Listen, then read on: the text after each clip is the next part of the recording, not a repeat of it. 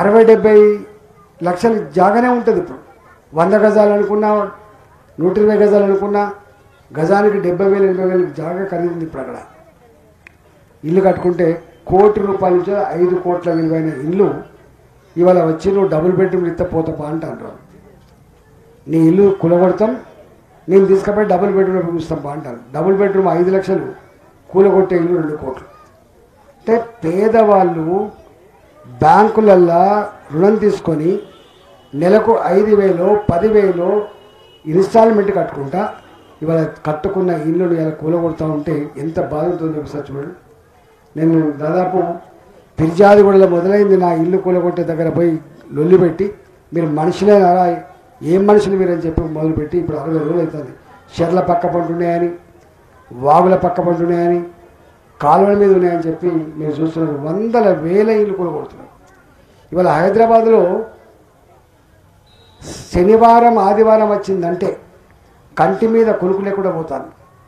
ఎక్కడ మిషన్లు వస్తాయో ఎక్కడ వందల మంది పోలీసులు వస్తాయో ఎక్కడ కూలగొట్టిపోతారని చెప్పి అలా దుఃఖపడుతున్న సన్నివేశం ఇలా హైదరాబాద్ చూస్తుంది ఒక్క మాటలో చెప్పాలంటే ఈ వాడ ఆ వాడ అని తేడా లేకుండా ఇవాళ అంతటా హైదరాబాద్ మొత్తంలో పేదలకు కంటి మీద కొనుకు లేకుండా చేసి శనివారం ఆదివారం వచ్చిందంటే పొయ్యి మీద కుండబెట్టకుండా కాపల కాసే పరిస్థితి ఇలా హైదరాబాద్ చూస్తున్నాం.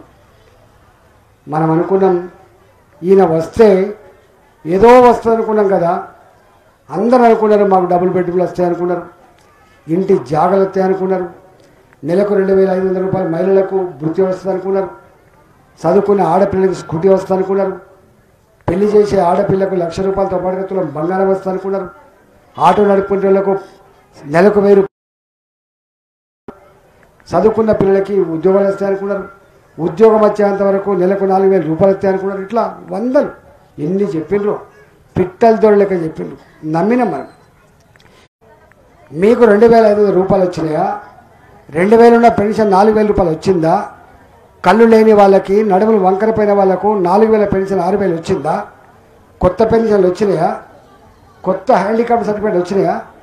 ఉల్టా ఉల్టా ఇలా హ్యాండిక్యాప్డ్ వాళ్ళకి పిలిపించుకొని మళ్ళీ రీ ఆ డాక్టర్తో చెక్ చేయించి సర్టిఫికేట్ గుంజేసుకుంటాను అంతకుముందు ఎవరికైతే పెన్షన్లు వచ్చినాయో హ్యాండిక్యాప్లకు ఆ పెన్షన్లు కూడా గుంజేసుకుంటారు అంటే ఇవాళ ప్రజలంతా అనుకుంటున్నారు పేనం మీద నుంచి పొయ్యిల పడ్డం బిడ్డ అనుకుంటారు ఈయనేదో చేస్తాను అనుకుంటే గిట్ల అయిపోయింది బిడ్డ అనుకుంటారు ఇవాళ రేవంత్ రెడ్డి ప్రభుత్వం ఆరు నెలలు కాకముందే ఆయన ఆయనేమో ఆరు సంవత్సరాలు పట్టింది అర్థం చేసుకోవడానికి. అహంకారం అర్థం కావడానికి ప్రజా వ్యతిరేకత అర్థం కావడానికి కేసీఆర్ పరిపాలన ఆరు సంవత్సరాలతో మొదలైంది. కానీ రేవంత్ రెడ్డి ప్రభుత్వం ఆరు నెలల కాలం గడవకముందే ఆరు నెలలు గడవకముందే ఇవాళ రోజు ఎట్లా మాట్లాడుతుందో చూసి. నేను తిరుగుతా ఉండే నన్ను పట్టుకొని నేను ముఖ్యమంత్రి ఒక మాట అంటాడు. ఏ రాజేందర్ నువ్వు ఎక్కడ అంటాడు నన్ను పట్టుకొని? నేను ఇక్కడ ఎంపీని నేను ఇక్కడ ఎంపీని నేను మొన్ననే కాలుకు ముళ్ళుగితే పన్నుతో పీకే సర్వీస్ చేస్తా అని చెప్పి ప్రమాణం చేసి నేను ఓట్లేసుకునే ఎంపీని అయ్యా ఇక్కడ. నేను పేద పేదల పేద పక్షాలను తిరుగుతున్నా. నీకు నిజంగా దమ్ముంటే ధైర్యం ఉంటే మా ప్రజలతో మాట్లాడే ప్రయత్నం చేయి. లేకపోతే నాతో మాట్లాడే ప్రయత్నం చేయమని చెప్పిన. ఆ దమ్ము లేదు ఆ ధైర్యం లేదు. ఆయన అక్కడ పోలీసుల మధ్యలో కూర్చొని మాట్లాడతాడు. నేనన్నా నీకు ధైర్యం నువ్వు ముఖ్యమంత్రివే అయితే ప్రజల కోసమే పనిచేసేవాడు అయితే వస్తావా పోదాం దా అని చెప్పి అడిగిన. పోలీసులు లేకుండా నువ్వు నేను కలిసి ఇద్దాం పోదాం. పేదల ఇళ్ళకు పోదాం. మూసి పక్క పంటున్న ఇళ్ళకు పోదాం. చెరువుల పక్క పంటున్న బస్సులకు పోదాం. యాభై ఏళ్ళ క్రితం అరవై ఏళ్ళ క్రితం కట్టుకున్నటువంటి ఇల్లు కూలగొట్టే అధికారం నీకు ఎవడిచ్చిందని చెప్పి వాళ్ళు అడుగుతారా లేదా? వాళ్ళు అడుగుతానేమో నేను రాజీనామా చేస్తా అని చెప్పి. నువ్వు రాజీనామా చేయని చెప్పిన. ఒకవేళ వాళ్ళు రేవంత్ రెడ్డి గారు మీరు బాగా పనిచేస్తున్నారు రేవంత్ రెడ్డి గారు మీరు మంచిగా పనిచేస్తున్నారు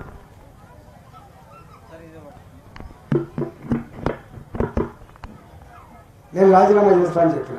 ఇలా గది కొనసాగుతుంది ఇక నేను ఎక్కువ తక్కువ మీరు రోజు చూస్తుంటారు. నాలాంటి వాళ్ళు ఏం చేస్తున్నారు?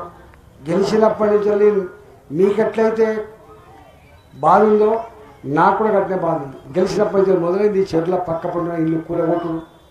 రాజకీయ కక్షతో ఇల్లు కూలగొట్టుడు. మూసి పక్క పడిన ఇల్లు కూలగొట్టుడు. నోటీసులు ఇచ్చుడు. దాదాపు నిన్న పొద్దున నిన్న పొద్దున నిన్న పొద్దున పోయినా. మౌలాలి ఉంటుంది ఈ పక్కన మౌలాలి. ఈ పక్కకు పోతే మౌలాలి చెరువు. దాని పేరు బండ చెరువు ఎనిమిది వేల ఇళ్ళకు నోటీసులు ఇచ్చారు. ఎనిమిది వేల ఇళ్ళకు ఓ అని ఏడుస్తున్నారు వాళ్ళు. ఎనిమిది వేల ఇళ్ళకి ఇచ్చేవారు అందుకని దయచేసి మీకు అండగా భారతీయ జనతా పార్టీ ఉంటుంది కాబట్టి ఇవాళ దేశవ్యాప్తంగా భారతీయ జనతా పార్టీ సభ్యత్వ నమోదు కార్యక్రమాలు చేస్తూ ఉంది కాబట్టి ఇవాళ మీరందరూ కూడా సున్నారెడ్డి గారు లక్ష్మి గారు అందరూ ఇవాళ సభ్యత్వ నమోదు కార్యక్రమం పిలిచింది మిమ్మల్ని. సభ్యత్వ కార్యక్రమం తీసుకొని ఇవాళ భారతీయ జనతా పార్టీకి అండగా ఉండండి.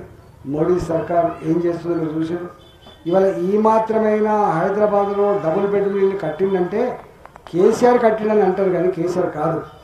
నరేంద్ర మోడీ గారు రెండు లక్షల నలభై వేల ఇల్లు ఇస్తే ఆ ఇల్లు కూడా కట్టే తెలివి లేక లక్ష నలభై వేల ఇల్లు కట్టి ఇంకా లక్ష ఇల్లు అట్టే కట్ట కట్టకుండా మోడీ గారేమో అక్కడ పేదలకు ఇల్లు కట్టేయాలని చెప్పాలనుకుంటే డబ్బులు ఇస్తే కట్టే ధైర్యం కూడా లేదు కట్టేటువంటి వాళ్ళకి టైం కూడా లేదు.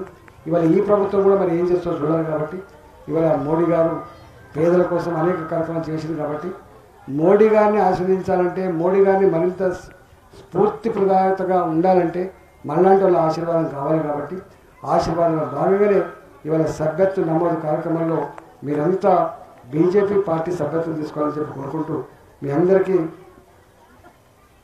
శుభాకాంక్షలు తెలుస్తూ సెలవు భారత్ మాతాకి.